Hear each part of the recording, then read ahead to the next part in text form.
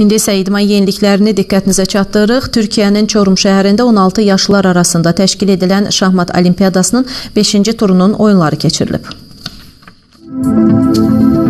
5-ci turda Azərbaycanın birinci komandası İsrail komandasına 2.5 və 1.5 hesabı ilə qalib gəlib. Azərbaycan Naxçıvan komandası isə Moldova şahmatçılarına 3-1 hesabı ilə məğlub olub. Növbəti oyunda, yəni 6-cı turda Azərbaycanın birinci komandası Qazaxstan komandası ilə, Azərbaycan Naxçıvan komandası isə Qırğızıstan şahmatçıları ilə mübarizə aparacaq. Onu da qeyd edək ki, turnirə bir gün fasilə veriləcək. Əli İbrahim bəyli xəbərlər.